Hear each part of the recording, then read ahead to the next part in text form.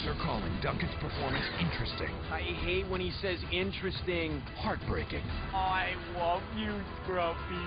backbreaking, Wicked. Oh, and as thought-provoking I make fire. Ooh, ooh, ooh. as it is Herald-provoking. This is my world you're living in, dork boy. Go to TotalDramaAction.com and cast your vote for Duncan. You're my only hope. And watch Total Drama Action Red Carpet Rivalry Round 2. Thursday night at 9 on Cartoon Network. Are you in?